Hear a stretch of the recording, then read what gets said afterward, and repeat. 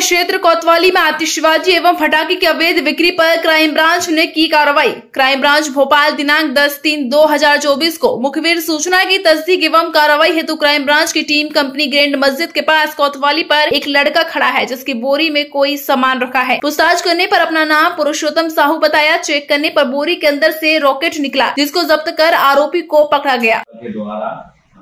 अवैध विस्फोटक पदार्थों के खिलाफ पूर्व भी कार्रवाई की गई थी, वर्तमान कार्रवाई की जा रही हमें इंफॉर्मेशन मिली थी कि बिना लाइसेंस के, व्यक्ति के द्वारा पटाखों का निर्माण और परिवहन किया जा रहा था। इस संबंध में द्वारा जो गली है द्वारा रोड है, वहाँ पर एक व्यक्ति के, इनके पोजीशन में कुछ अवैध रूप से विस्फोटक पदार्थ के पोजीशन के रूप में मिलने की जब पड़ताल की गई, उसके अलावा जो तलाशी ली गई तो काफ़ी बड़ी मात्रा में विस्फोटक पदार्थ जो मिला इनके पास रॉकेट है, बड़े इलाके में, जो कि किसी भी व्यक्ति और जो आसपास के लोगों के लिए खतरनाक साबित हो सकते थे। इस संबंध में विस्फोटक अधिनियम के तहत कार्रवाई क्राइम ब्रांच द्वारा गिरफ़्तार किया गया है और आगे की योजना पड़ताल की जा रही है। इसके अलावा उनके जो स्टोर है जो स्टॉक है या उसका भी जानकारी पुलिस से भी हम पता कर रहे हैं।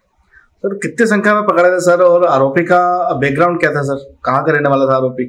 आरोपी चौहारे का रहने वाला है वहाँ मार्केट में रहता था फिर गोडाउन बाहर है उसके गोडाउन की में सर्चिंग की जा रही है तलाशी की जा रही है और ये यही काम चोरी छुपे करता है। सर ये बता सर कब से चालू किया था काम? सर कब से? ये काफ़ी दिनों से ये ऑर्डर पे व्यक्ति बनाता है विस्फोटक पदार्थों की इस तरह का जो बनाता है और पूर्व में ज़रूरत थी परंतु हम लोग अ, नहीं पकड़ पाए थे इस बार हमें सूचना सही नंबर मिली उसके पकड़कर कार्रवाई की जाएगी। भोपाल से मुकेश सिंह की रिपोर्ट। अभी के लिए बस इतना ही। हमारे चैनल में बने रहने के लिए हमारे चैनल को लाइक शेयर एंड सब्सक्राइब करें।